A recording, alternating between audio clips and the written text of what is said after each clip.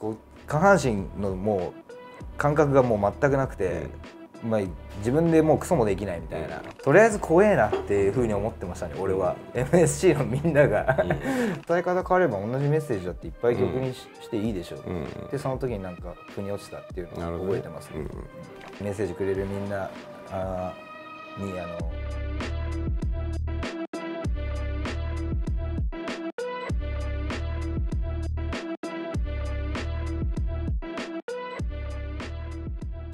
よしよろしくおで願いします。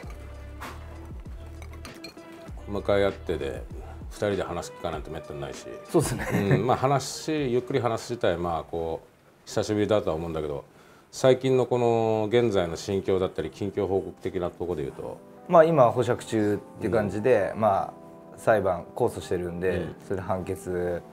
が出るのがまあ5月中なんじゃないですかねっていうところだと思います。はい。まあじゃあいろんな準備をしてたりとか。そうですね。はい。どっちに転んでも大丈夫なような準備って感じですね。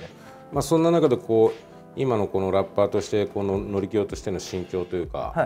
い。なんか気持ち的には。どうだろう。だからそのもう作品とりあえず作れるだけ作ろうって感じなんで、まあそのちょっと立ち止まってふって考えたら大丈夫かなっていうその不安はないって言ったらもう確実に嘘になりますけど、でもやんなきゃいけないこととやりたいことだらけだから、なんかチャリンコで言ったらもう本当に走全力で走ってるから、うん。そこ見てだから安定してるっつっちゃ安定してるっすね。ね。脇見ちょっとこうパッて見ちまあ、ゃうと、寄り道したり脇を脇見したらね。そうすると速攻焦げるっていうか、多分メンタル的にも良くないんで、はい。6月発売予定の最新作になると思うんですがはい。これはまあどんな思いを込めたアルバムっていうか？まあ、犯行声明っていうアルバムなんですけど、まあ、中でまあ9割ぐらい無音で書いた、結構自分的にはトラックないのでない状況で書いたっていうのは、なかなかあんまないんで、いつもアルバム作ってるのとは違うなんて言うんだろう情熱っていうのか分かんないけど、書き立てられたっていうかちょっと毛色違ったアルバムになったのかなっていうのもあるしなんかもう一枚自分のキャリアの中でファーストアルバムみたいな、テンションのアルバムが出るとは思わなかったから、そうなんだよね。だからこう俺も聞かせてもらってはい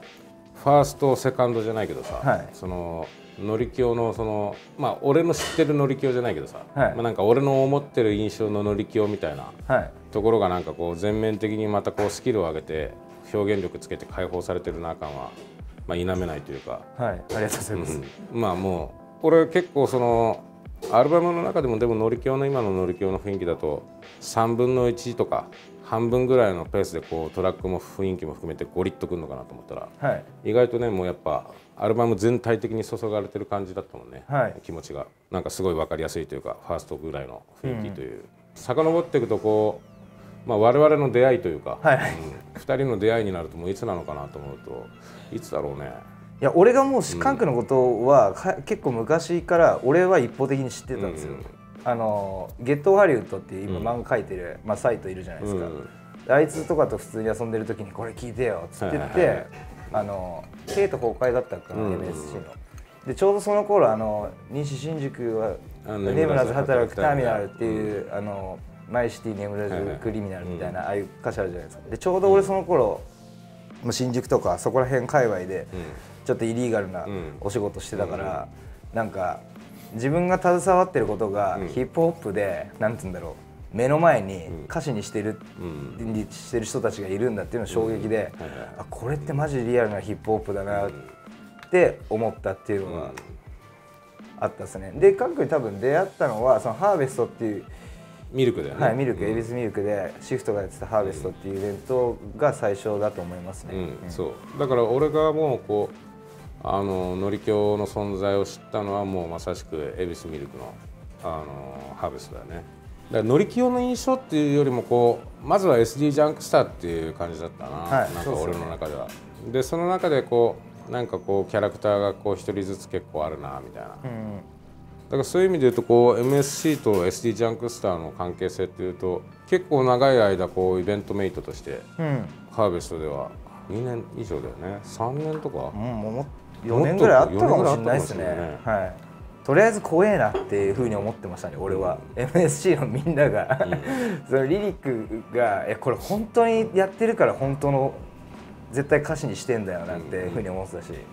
みんな SD のやつだとマジ本当あの人たち絶対怖いよねってよく話してましたね。まあだけどそんな中こうね僕らの印象としてもこう決して受けるのがこうなんだろうやっぱ当時のさこう、はい。空気感なのか分かんないけどはい日本にこうフッドってフッドとかさ、はい。そういう感じの地元地域密着型とか、はい。なんかそういうヒップホップライフの中でのこう関係性で濃いやつらがクルー組んでみたいのがなんかこう日本で始まりだしたみたいな時期ですね。うんそうだね。僕らの上の世代の人たちはこう日本語ラップを開拓してくれていろいろしていく中で俺らがこうアメリカのヒップホップも学んでこうヒップホップってこういうカルチャーじゃんみたいなこう、なるべく日本で落とし込もうみたいなうん。多分試みてた世代というか。そうですね自然な形でっていうか。そうそれも自然な形でねそう。無理なく、でこう自然なこう俺らのライフスタイルでいかに落とし込むかっていう時代を研究してた時代だから。まあだから融合は絶対しないんだよね、SD ともね、こう。お互いなんか乾杯もめったにしないし 喋ったりもしない関係だからね。でもその俺カン君たちのやってるそのえっと音楽、うん。うんその MS とかカン君がやってた音楽を見て新宿のあのヒリヒリした感じとかを、あの俺はそこにそのストリートのうん。裏道の裏の影の部分に身を置いてたけど、いざ地元に帰って稼いで帰ってくると、みんなほんわかしてるわけですよ。でこれを俺だけじゃあ自分がイリーガルビジネスしてる曲だけ書いても、これ多分成立しないでしょってなった時に。結構何にもない相模原っていうこの街をどうやってやって自然な形でヒップホップでかっこよく表現できんだろうっていうのはすげえ模索したっすね。なるほどね、うん。いやでもまあ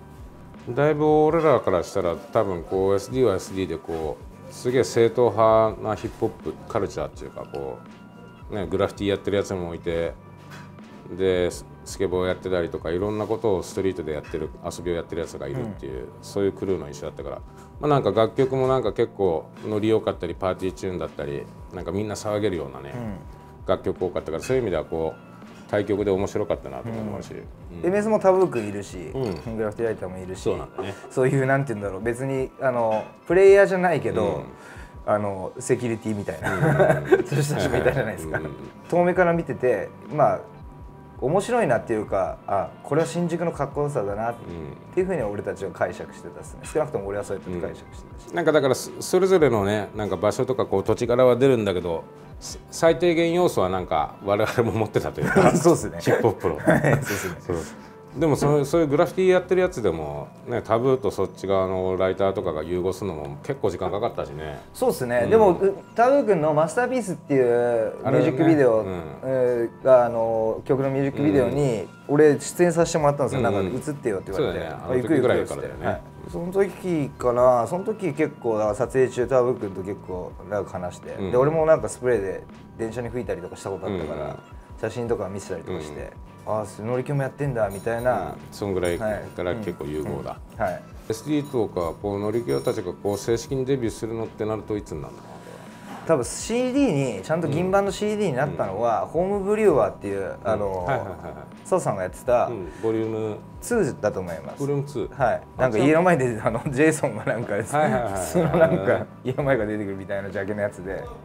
じゃあそこからまたしばらくしてこう単独名義になっていくっていうような。そうっすね。その時だから初めて自分の声が銀盤になったかな、うん。その時もちょうど俺留置場にいて俺の声だけ MTR から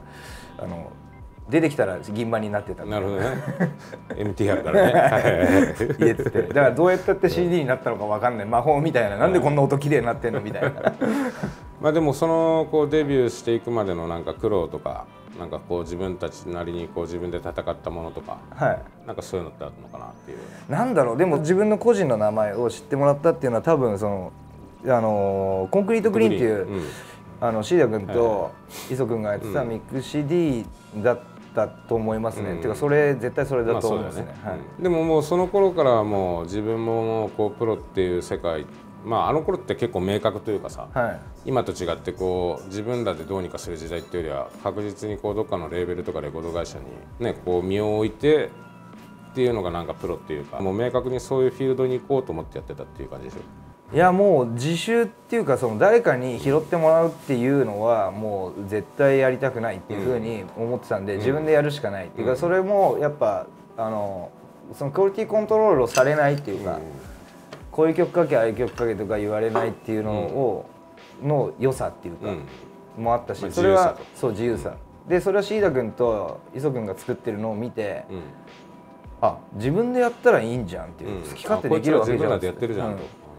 でこれそのやり方をうん。磯君とかに聞いて、うん。あこうやってやって CD で作るんだみたいな、うん。えじゃあ別に自分でできるじゃんって、うん。だって自分でやろうって思ったっていうのはあるっす、なるほどね、はい。こうコンクリートグリーンに参加する経緯って何だったんですか？磯君が SD ジャンクサーの DJ やってくれてたから。そこそこそこでまあシーダ君と磯君大学の同級生じゃないですか、で SE の中のリックっていうやつもあのその大学の同級生なんですよ、うん。あの DJ のやつで、んでなんか関係性はあってでミック CD 作るからなんか曲使わしてよって言われてどうぞどうぞみたいな。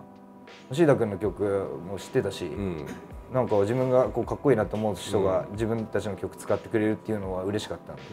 うん。ぜひぜひって感じだったんですじゃあそうやってこう ISO とかにこういろいろ CD 制作とか自主版ってこうやって作るんだよとかこう流通ってこうやって載せんだよみたいな流れも教えてもらいつつ、はいはいファーストを出すっていう。そうですそうです。なるほど。このファーストを出した時の心境っていうのはなんだろうな。いその明確に今までなんかこうゲームがあって自分のところにボールが来たから今これはあのボールを蹴らないとダメだうんっていう意識はあったですね。なんか、うん。あの口にすると難しいけど、そういう雰囲気が自分の中で感じてて、今やんなかったらもう次いつ来るか分かんない、今もうボールをゴールに蹴らないとダメだっていう肌感覚があったんですよね。だから絶対ゴール決めてやろうみたいな感じで作ってたっていうのはあるかもしれません、その時のこう反響はどうだった？こう身の回りとかこう一般のその知らない連中からのこのリスナーとかからも。それはなんかまずそもう地元のやつらが喜んでたっていうか、うん。そこで喜んでもらったっていうのが一番でかいんじゃないですかね。なんかキー君のそのアルバム聴いて、めっちゃ良かったよって言って相模原っていうのが多分、ヒップホップの地図に載ったんだと思うんですよ、今思えば当たり前だったりするんだけどその感覚は思い起こせば。だけどなんか当時のね肌感覚で言うとあ ST から乗り気が最初にドンって出てくんだと思った印象があったんでね、いやブロン系でしょ。って多分みんなみんなブロン系だなととは思ってたよね、確かあの時。なんかだからそこでなんか初めて自分の音楽がでお金をもらえるようになったっていうか、うん。それこそハーベストとか出てた頃とか、はいはいあのギャラ俺たち5000円とかだったんですよ。ね 交通費みたいな。で行って恵比寿に車止めてたら5000円以上になるじゃないですか、なるだから自腹で遊びにライブしに行かしてもらってるみたいな、なるほどまああそこに出れたってことも本当にカン君たちとかと肩舐めて出たのも、もうそれがまあ付加価値ではあったと思うんですけど、今となってみれば。あの何？じゃあ SD ジャンクスター自体のこのきっかけとか結成っていうのはもうあれからどのぐらい前になるの？多分おそらくうんおそらくですけどちょっとマジでわ本当は忘れちゃったけど多分2000年とかぐらいなんですよ。あでも結構早いね。名前がついたっていうか SDP っていうそのクルーの名前がついたのはカネってそのグラフィティライターが街にこう書き始めたんですよ、そうだね。SDP って、で SDP って何なのっつって、あの総武大だっていう。うん。なるほど最初なんだっけな？LOS って書いてたのかな？それ何？ロスって何なのって言ったら、レジェンド・オブ・総武大とか言ってて。であ自分たちのことがなんか、そうやってって仮面になって残ってくるんだ面白いなって、それまではグラフィティのクルーっていうか、うん。のってあったじゃないですか、はいはいはい。でも自分たちあそこには俺も含まれてんのかな、うん。っていうか多分含まれてるでしょ？みたいな、うん。うんそれがなんかいつの間にか SDP っていうふうになってて、で SD ジャンクスターっていう名前が付けたのが SD ジャンクスが最初だったのかちょっと今ではもううる覚えもう何千も20年以上前のことなんで まあ分かんないですけど。どそうだね。カネは本当都内でもめちゃくちゃ見てたしねそうっすよね。ね。であそのカネがいるクルーなんだっていうのも認識最初からあったしね。だからまあそういうメンバーとの出会いっていうのはもう地元を中心にグラフィティだったりヒップホップカルチャー好きだったりストリートカルチャー好きなやつが中心に集まってできたそうです。ななんかただ普通にもう遊んでたやつらに名前がついたっていうのが多分2000年ぐらいだと思うんですよ、はいはいはい。その各メンバーとの出会いっていうのはそれぞれ違う。結構そうですね。結構いろんなとこから集まってるみたいな。いやいやもう本当中学の同級生。あの中学の同級生っていうかあの中学の同級生もいれば中学の俺弟がいるんですけど、うん2つ下でブロンケイとかはその辺の弟の同級生で、あそっかそっか、はい。ブロンケはそっかそうだよね、まあ、なんか違うところから来たのかのはサイトとかですかね、うんサイトでも東京育ちだったけど、だね。遊びによく来てて、なるほどなるまあ、大柴とかもあの三鷹だからあいつ出身、ほど、はいはいはい違うけど、まあ、一緒にイベント出るようになったりとか遊ぶようになってよく来てたんで。なるほどね、はい。SD ジャンクスター時代にこう思い出で楽しかったことや嬉しかったことっていうかポジティブな部分で。どうだろう。まあ日々楽しかったですね。それがやっぱりなんかそのやさ文化っていうか、みんなで米軍キャンプのあの脇のガレージみたいなのを借りたんですよ、そこ窓開けたらあのもう米軍キャンプのフェンスがあってみたいな、結構あんまりそんなうるさくしても怒られなかったし、でそこにスタジオとかも作って、もうあの家ないやつそこ住んでたりとか、風呂もないのに。あのあのベンチプレスあるじゃないですか。ベンチプレスの上にこうやってやって出たりとかむしろその時代って楽しいことしか楽しいこと先行の時代だよねそうっすねもう楽しさは毎日楽しいことだけっていうか、だからなんつうんだろうなもうその頃とか多分もうあのアコムとかに金借りて、うん。だから自分の貯金だと思っちゃってるみたいな、そんぐらいの頃だから浅はかじゃないですか、今日が楽しければ別にいいみたいな感じなんで、まあ今日みんないくらあるぐらいのノリだよね。そうそうそう音楽性も認められてってラッパーとしてこうアイデアとのあの関係だったりバックロジックとの関係ができていくと思うんだけど、その出会いの経緯とか。まあアイデア君はもうまさにあのコンクリートグリーンの時うに、初めてやって。もちろんもちろん彼の音楽は知ってたけど、うん。シダ君の曲聴いてたんで、で自分のアルバムを作っててでそれをレコーディングしに行った時に、俺のトラック聴いてみてくんない？みたいな感じで聴かせてもらって「あめちゃかっこいいっすね」って言って、それにラップ乗せてもらさせてもらったっていう経緯ですね。バックロジックはシダ君が紹介してくれて、大阪のなんかどどっか街中で連絡取って あの交差点で待ち合わせして、デモの CD だけもらって、うん聞いて連絡しますみたいな、ん。最初はそんな感じの出会いだったと思います、こうそんなこう名プロデューサーの2人だけど、はい。彼らの好きな部分というか、その自分が持ってったものを自分が想像してたもの以上にうんしてくれるっていうか、うん導いてくれるっていうのはあるですね、うんなるほどね、はい。そこは大きいよねでもね、はい、トラックメーカーとプロデューサーの違いっていうかそそうだね。そういう視点を持ってるうんんですね、あの人たちは。当時ライバルだったり目標にした人とかお手本にこうあ俺はここ目指そうみたいな人間だったり。いや明確にそういうのはないんですけど自分がその音楽で飯食うようになった時にまあ多分2000だからファーストアルバム出した時ぐらいからですよね、その時に般若君やったのはでかかったかなと思います。ね、うんなんか傍から見ててもそんな印象あるな、うん、般若との出会いはでかそうな印象っていうか。般若君と飯食ってあのごちそうになったりとかしていろんなことを話すようになった時になんかラッパーってなんて言うんだろうな。あこんなに真面目にこう考えてるっていうか、うん。今思えば当たり前のことは当たり前にやってんだけど、俺それ足りてなかったわ、うん。自分の音楽に向き合う姿勢っていうのはすごい影響を受けたと思いますね、うん。あとボス君とか。うんうん。ボス君もなんかあのどこだったっけな。あの大イーストかな、なんかでライブ一緒になった時に非常階段みたいなところで、まあ、ライブのためにその準備をしてて彼が、うんでそれを見てあこの人のライブってめちゃくちゃイケてるけど人を楽しませるっていうのに準備があってやるっていうのがこういう理屈でやばいライブができるんだとかは裏側から見て思ったしでカン君とかのスタイルって、ドンって出てってもそのなんていうんだ空気感を要はいじって、うん。フリースタイルでうん。わってやられるあの盛り上げられる能力があるじゃないですか、それを見てて俺にはこの能力を今からこうなんていうんだろう磨いても、そのカン君と肩並べたりとかはできないなって思った時に俺の向いてるやつはうん前者の方だなっていう、うんうんうんだから前者の方をやろうとかそういうなんか漠然とだけど、うんうん。口にしてみたらそういうふうに思ったのかもしれないですね。いやでもねそこはねめっちゃね傍から見ててすごい分かったよ。あ本当ですか、うん、乗り気のそのあこういうやつらと出会って般若とかも特にすげえ分かったし、はい。まああ乗り気こういう風なもうあからさまに姿勢も変えたしこう真面目にこう音楽とはい。かステージに向かって取り組むとか、えっとユニットリキッドかな、はい。で乗り気のあのワンマンの時も、はい。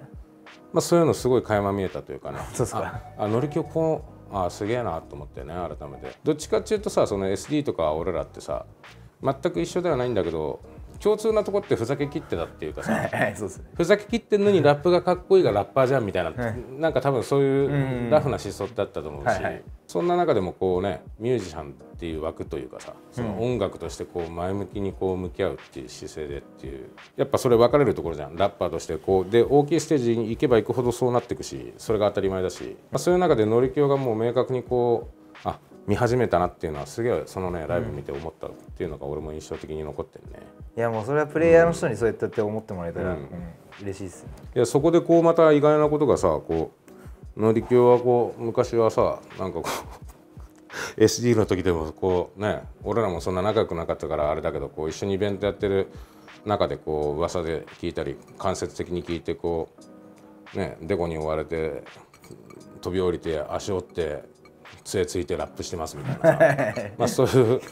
うような人間がこうアルバム重ねていくごとにこう文章を書いたり表現するこの能力っていうかこう身につけたっていうのはこう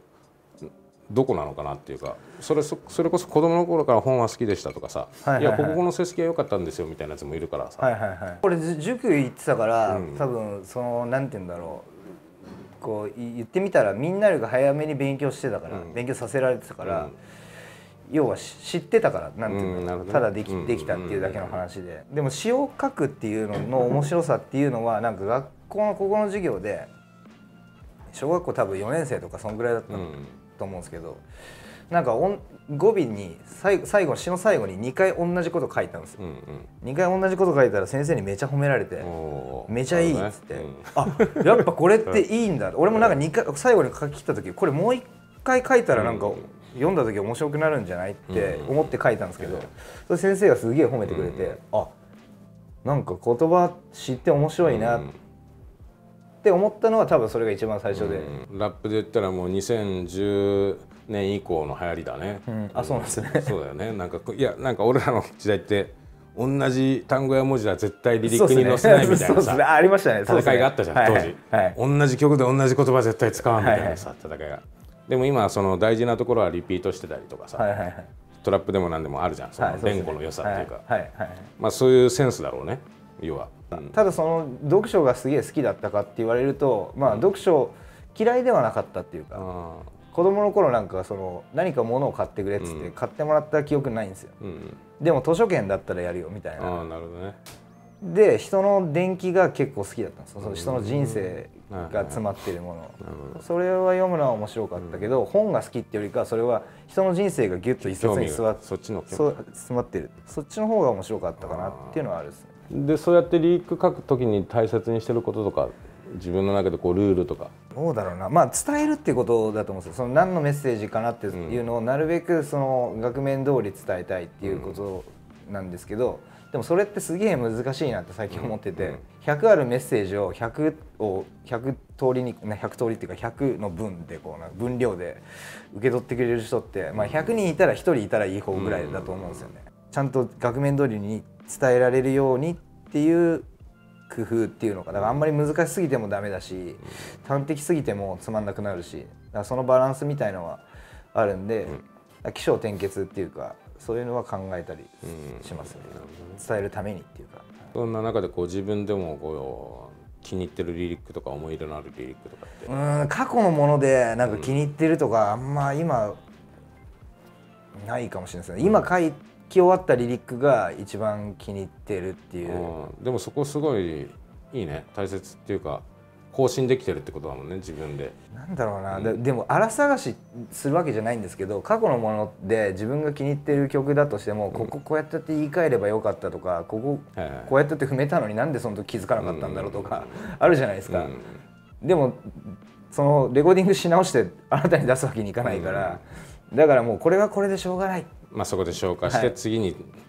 それをいうふうに思っちゃうんですよねそうだね。のりきよと一緒に参加してる曲っつったら一網打尽リミックスとあとクロスロード。はい。で一緒にやってるけど共作してみてどうでしたか？いやとりあえずその一網打尽に関して見たら、もうガン君と慎吾さんとかあるいいもうインフミの曲だし、じゃあこれはもう皆さんに乗っからしてもらおうみたいな感じで俺もうなんかフリースタイルシットみたいな感じで、一網打尽って言葉パンチしないんだからなんか何でも合う,、合うでしょみたいなこのポスター的なこうマイクリレー的な曲だとね、はい。また小説数少なかったりで違うもんね。なんか気楽気楽楽にかけたっていうか、あれ なんていうの気楽にかけたらこう15分とか20分で書き上がった曲をみんなすげえ好きだって言ってくれたりもするし、そうなんね。2週間とかこねくり回した曲とかスルーされたりとか、あるからね。わかんないですよ。クロスロードに関してはあれですよ。あのガッテム君に誘われて、あの曲作ってくれって言われてもう俺カン君とあの曲作れんだったらもうギャラいないからやらせてくれっつってて、うん。2人で作ってみたいなと思って、それはお願いしたっていうこっちから、うん。っていう。クロスロードに関してはあれだったな。なんか曲調も含めてなんか逆になんか気持ちよかったけどね。いや俺あのカン君の 出来上がってきたリリックのデモのやつ聞いて、俺嬉しかったんですよ。あカン君すげえ覚えててくれたんだみたいな、うん。まあ、なんかそういうところのラップの差っていうのはまたあるんでまたそういう部分もね一緒に更新できたらなとそう思います。でね。はい。でもこう本当乗り気の場合ハイペースで達したようなさそういう作品をこう発表してるっていうかまあ時にまあそれこそハンニャもそういう意味では俺もすげえなと思ってたんだけどあいつもこう年に1回はい。アルバム出してとか、はい。で、まあ、今はまたこう時代が違うからあれなんだけどバズバズり方とかもいろいろあったり。はい。まあ、若い世代もこうまた盛り上がってるから違うけど。でも当時ってやっぱこう音楽で真面目に一本でラップで食うって言って自主でやるんだったら本当年一ペースではい。アルバム作ってるっていうのをやってるのはノリキオとかさこう、まあ、ゾーンもそうだったり。昭和レコード自体はそういうねやつらで3人で固まってったし、はい。まあ、あとはノリキオがそこの同じぐらいのペースでずっと出してたなって思うんだけど、はい。まあ、そのそこから出る発想力とかその根源となるものっていうのはどこからこうそんだけのいろんなこう足したような音楽性を取り入れて消化してるのかなっていうか。なんか身の回りに起きてることがなんか曲にの種にならないかなみたいなことはうっすら頭の中でこう常日頃なんか多分考えちゃってるんだと思うんです、例えば映画見てる時とかネットフリックス見てる時でも集中して見てんだけど、うん。多分2%ぐらいその脳みそがそこで回ってるんですよ、なるほどね。そのために。うんうんうん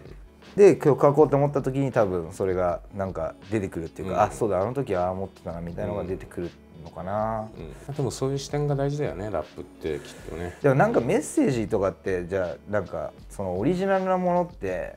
なんて言うんだろうもう出尽くしてると思うんですよ、うん。その0から1を出すっていうのはもうすでにビートの上にラップで乗せてインフムっていうのだってもう最初にやった人がいるわけだし、うん。そんなこと言い始めたら,、うん。その同じようなメッセージをどうやってやってき切り方っていうか、うん。でなんかこう変わってくるんじゃないかなって思うんですよね、だから自分の曲を聴き直してみたりあのワンマンライブとかうん。やるときにどの曲やろうかなと思って聴き直してる時とかもメッセージこれ一緒じゃんみたいな曲とかうん正直いっぱいあるんですよ、うんうん。だけど違った言い方とか違った伝え方っていっぱいできるな、うんていう。同じようなこともね。うん。だからそういうふうにやってみんながあのいっぱいあるような感じに受け取ってるだけなんじゃないかな、うん。それなんか山人君になんか言われたことあって、別に言言ってることなんて俺なんか昔から変わってねえんだよそれでいいんだよって言われた時に、あ確かになみたいな。うん。別にその伝え方変われば同じメッセージだっていっぱい曲にし,、していいでしょ、ん。でその時になんか腑に落ちたっていうのを覚えてます、こうさ相模川町シリーズとかこう地元をレプゼンして相模原っていうことを結構ね、はい。あのーすげえめちゃくちゃ押し出してる時期もあったと思うんだけど、はいこう相模原ってこう知らない人たちに伝えるにはどんな街っていうか、まあいなたいっていうのが一番合うかな、でやっぱりそのどこにでもあるような街だと思うんですよ。ただ米軍キャンプが近くにあるっていうのは特殊かもしれないですけど、だからそのアメリカの文化があの要所要所にあるっていうかのはあるけどそれ以外は本当もう幹線道路にパチンコ屋あって、のチェーン店とかジャスコあってみたいな、もう日本のどこでもあるような街だし、ただ団地が多いっていうか、その東京のベッドタウンとして、多分50年前とかぐらいにバーって団地ができたみたいな、江戸っ子みたいな感じで、昔からずっとその相模原に住んでる人って要は団地にはあんまりいないわけじゃないですか物理的に、で周りの友達とかもそのなんて言うんだろう要は同じ間取りで右にトイレがあるか左にトイレがあるかみたいな、いうので同じ環境なんですよね、だからそういうやつらの中でなんかいや結束力みたいな団地の結束力みたいなのもあったし、ちょうど八王子と世田谷がこうあって相模原を出ると、だからガキの頃とかは世田谷のその怖い人たちいわゆるチーマーとか言われるような人たちとか、暴走族の人たち、その関東連そういう人たちもおっかねえなと思ったし、八王子は八王子でも苦節用の人たちがいっぱいいるじゃないですか。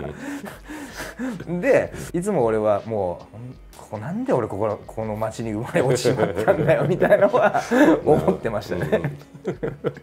生きづれえなみたいな。まあそれでも楽しかったです。けどね。はい。昔と違って今のシーンをどう捉えてるかなっていうのはあるんですけどどうですかその辺は？ヒップホップのシーンとしてはもう良くなったとしか言えないんじゃないですかね、そのまずお金が稼げるようになったっていう、まあ聞いてくれる人があの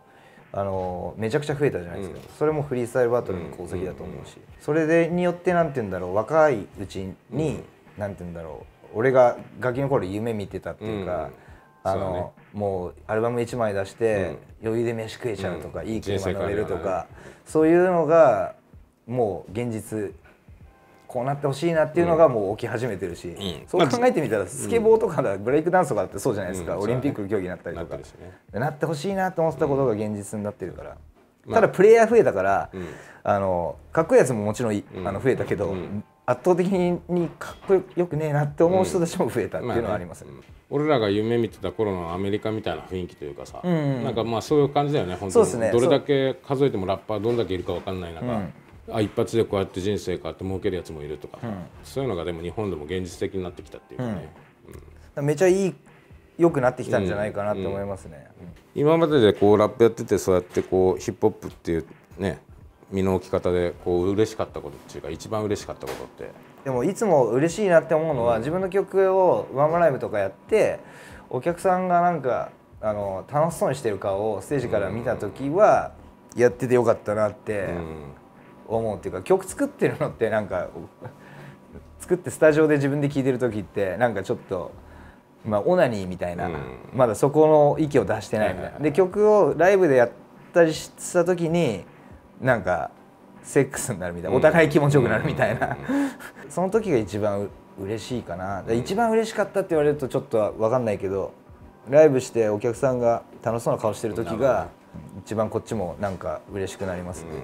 まあ、やっててよかったってなるよね、はい、まあ、逆にこう一番苦しい時とかそういうまあ中でこう乗り気流の立ち直り方とかああ今挫折しそうだとかああ今人生でこういうところにいるんだっていう部分でこう立ち直ってくるっていう別にラップだけじゃなくて人生経験として、はい、でもヒップホップに俺はもう救われまくってるから、うん、それこそだから4階から飛び降りた時も、うん、もうこう下半身のもう感覚がもう全くなくて、うん、まあ、自分でもうクソもできないみたいな、看護師さんが館長入れて、